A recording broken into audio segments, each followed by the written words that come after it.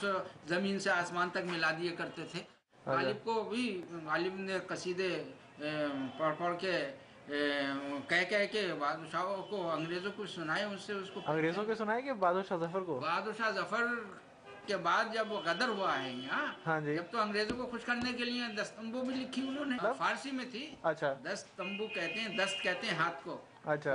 کہتے ہیں خوشبو۔ خوشبو کو۔ اچھا۔ یعنی اس زمانے میں ایک دستور یہ تھا کہ جب کہیں جاتے تھے پوشاک پہن کے وہ تو ایک ہاتھ میں ایک گلدستہ ہوتا تھا ایک پھول ہوتا تھا خوشبودار چیز۔ یعنی ہاتھ میں ایک دستور تھا لے کے چلنے کا۔ تو اس کو دستمبو کہتے ہیں۔ اچھا۔ اس کا نام ہی رکھا انہوں نے۔ تو انگریزوں کو خوش کرنے کے لیے کہیں تو غالب نہیں۔ واہ واہ واہ۔ تو پر ان کو پینشن تو ملی نہیں انگریزوں سے؟ بس وہ بعد میں ہو گئی تھی ملتی اچھا۔ رہی۔ ہاں۔ وہ الگ بات ہے۔ لیکن اسی طرح سودان نوابوں کو راجاؤں کو خوش کرنے کے لیے کہتے تھے قصیدہ اس کو کہتے ہیں۔ کسی کے غم پہ مرنے پہ کہتے ہیں اسی مرثیہ کہتے ہیں۔ عشق کسی سے ہو جائے اس میں عاشق جو ہے برا حال ہے اس کا یہ اچھا حال ہے لیکن وہ ہر حال میں جو کہے گا وہ غزل میں اس کو اچھا سمجھا گیا ہے۔ اور نظم یہ ہے کہ کسی ایک چیز کو شروع سے آخر تک اس کو ایک ہی پیرائے میں اشعار کہے اور پڑھے اور وہ بعد میں اس میں اس کا مطلب کھل گیا۔ اس کو نظم کہتے ہیں۔ اچھا۔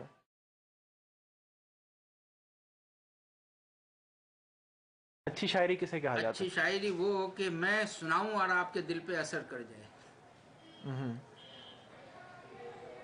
اس میں کیفیت پیدا ہو۔ بھرتی نہ معلوم ہو اکتا نہ جائیں آپ سن کے۔ شاعری کیفیت بھی پیدا کرتی ہے کہ سنے جائیے اور سر دھونے جائیے۔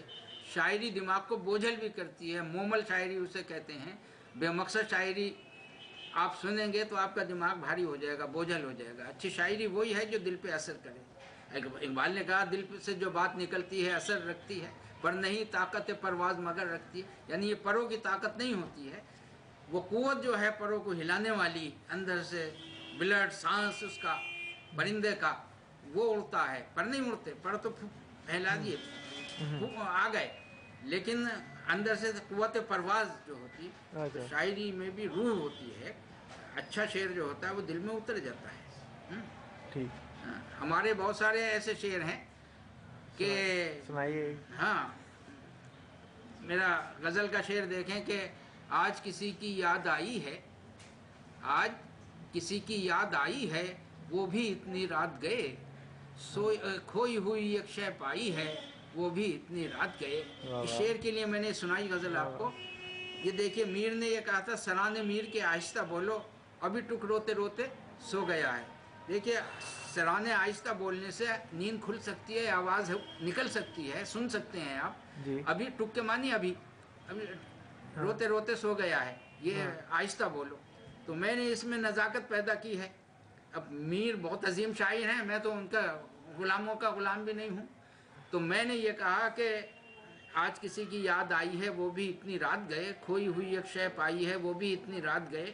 اب سنیے اے گنچو آہستہ کھلنا اے گنچو آہستہ کھلنا ٹوٹ نہ جائے خواب اپنا۔ کیا بات ہے کیا بات ہے۔ اے گنچو آہستہ کھلنا گنچے کی آواز نہیں سنی آج تک کسی نے؟ ایک تصور یہ ہے کہ کلی چٹکتی ہے۔ اے گنچو آہستہ کھلنا ٹوٹ نہ جائے خواب اپنا مشکل سے تو نیند آئی ہے وہ بھی اتنی رات گئے۔ کیا بات ہے کیا بات ہے کیا بات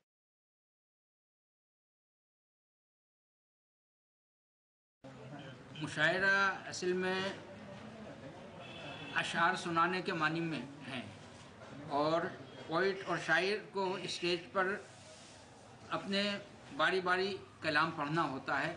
اور وہاں بیٹھنے کے آداب معلوم ہوتے ہیں کہ ڈریس کیسا ہونا چاہیے شاعرانہ انداز کیسا ہونا چاہیے اور یہ تہذیب و تمدن میں آتا ہے ہماری تہذیب جو تھی اردو کی اردو زبان کی خاص طور پہ تو مشاعروں سے آیا ہوتی ہے۔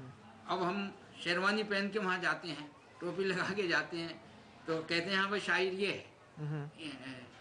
تو اس طریقے سے ہمارا ڈریس ہمارا بولنا چالنا جو ہے وہ مشاعروں سے ایک عام پیغام ملتا تھا لوگوں کو اور وہ گنگا جمنی تہذیب کہلاتی تھی۔ یعنی گنگا جمنی تہذیب کا مطلب یہ ہوتا ہے کہ جیسے گنگا کے پار کے لوگ اور جمنا کے پار کے لوگ اپنی تہذیب کو جب آپس میں بیٹھ کے پیش اچھا۔ کرتے ہیں تو اسے گنگا اور جمنی تہذیب کہتے ہیں۔ لکھنؤ ہے دلی ہے۔ مشاعرے کی اسٹیج پر پہلی صف میں جو ہوتے ہیں اساتذہ ہوتے ہیں۔ اساتذہ کے معنی استاد کے ہیں۔ اور پھر ان کے ساتھ ساتھ اور دوسرے شاعر پیچھے بیٹھتے ہیں۔ اور ایک دستور یہ ہے کہ سب سے پہلے شاگردوں کو پڑھایا جاتا ہے۔ مشاعرہ مائک پر بلایا دعوت دی جاتی ہے۔ استاد شاعر جو سینئر شاعر ہوتا ہے اور بڑا شاعر ہوتا ہے وہ سب سے بعد میں پڑھتا ہے۔ یہ ایک تہذیب ہے مشاعرے کی۔ چھوٹے سے بڑے بڑوں کا آداب جس طرح کرتے ہیں یہ اس میں شامل ہے۔ اصل میں بعض جگہ ایسا بھی ہوتا ہے کہ اگر کوئی شاگرد کا استاد استاد پہلے پڑھ لیتا ہے تو وہ شاگرد انکار کر دیتا کہ اب میں ان کے بعد نہیں پڑھوں گا۔ یہ بھی تہذیب ہے ہماری سمجھے؟ پھر اسے استاد اجازت دے دیتا ہے کہ نہیں بیٹا جب میرے بعد پیدا ہو سکتے ہو تو پہلے بھی پڑھ سکتے ہو۔ اس طرح کے مذاق بھی ہوتے ہیں مشاعرے میں۔ تو وہ مجبور ہو کے بیچارہ پھر پڑھنے شروع کر دیتا ہے۔ اچھا۔ تو یہ ساری چیزیں تہذیب و تمدن میں شامل ہیں ہمارے۔ اردو تہذیب کی دین ہے یہ۔ اور اسی لیے جو ہمارے سامنے مجمع بیٹھا ہوا ہوتا ہے وہ بہت متاثر ہوتا ہے اور پھر وہ اپنے گھر جا کر اس چیز کو بتاتا بھی ہے اور برتتا بھی ہے۔ تو اسی طرح تہذیب اور تمدن پھیلتے ہیں اور کیا۔ مشاعرہ کا یہ بھی قاعدہ ہے مشاعرے میں جو کلام پڑھا جائے گا اس میں آپ یہ نہیں کہیں گے کہ وہ گا رہا تھا۔ گانے والے اور ہوتے ہیں قوال ہوتے ہیں غزل گائکی کے اور جو کلاسیکل اس سے تعلق رکھتے ہیں وہ ہوتے ہیں۔ مشاعرے میں کسی شاعر کو آپ گانے کا نہیں گانے والا نہیں کہہ سکتے۔ اچھا۔ ہاں پڑھنے والا کہیں گے۔ ایک ہوتا ہے طرح مشاعرہ۔ اس مشاعرے میں ایک بڑے شاعر کا مصرع دے دیتے ہیں شاعروں کو پہلے سے خط میں لکھ دیتے ہیں انہیں جب ہم خط بھیجتے ہیں۔ تو اس شاعر کی زمین میں وہ پھر غزل تو وہ متروحہ مشاعرہ کہلاتا۔ تو متروحہ مشاعرے میں ہر شاعر اسی زمین میں پڑھے گا اسی ٹاپک پہ اسی میٹر میں پڑھے گا جو مصرع دیا گیا ہے۔ اور جو غیر طرحی مشاعرے ہوتے ہیں اس میں کوئی ضروری نہیں وہ اپنے اپنے طور پہ جو بھی چاہے غزل سنا سکتا ہے پڑھ سکتا ہے۔ اچھا۔ نظم سنائے غزل سنائے گیت سنائے یا قطعات ہوتے ہیں ٹکڑے چھوٹے چھوٹے اس میں بات پوری کہی جاتی ہے۔ تو اس اس طرح کی چیزیں یہ ہوتی۔ ہیں لال قلعے میں جو ہم مشاعرہ تینتیس سال سے میں پڑھتا ہوں مجھ سے شروع ہوتا ہے وہ افتتاح میں کرتا ہوں۔ یہ میری خوش نصیبی ہے۔ تو میں نے اس کے لیے چار مصرے کہہ رکھے ہیں اور بسم اللہ سے شروع کرتا ہوں۔ وہ جشن جمہوریت کہلاتا ہے۔ تو اس میں میں سب سے پہلے یہ پڑھتا ہوں کہ کر رہی ہے رقص کہہ رہی ہے مجھ سے گلشن میں شمیم۔ کہہ رہی ہے مجھ سے شمیم پتہ آپ کو شمیم وہ مہک وہ خوشبو ہوتی ہے جو گلوں سے نکلتی ہے۔ ٹھیک ہے۔ اور وہ پھیلتی ہے اچھا۔ جیسے جو آپ سونگتے ہیں اسے شمیم کہتے ہیں۔ کہ کر رہی کہہ رہی ہے مجھ سے گلشن میں شمیم جشن یہ جمہوریت کا ہے عظیم۔ ہاں۔ جشن یہ جمہوریت کا ہے عظیم۔ کر متین آغاز بسم اللہ سے رسم یہ بزم سخن کی ہے قدیم۔ کیا بات ہے کیا بات ہے۔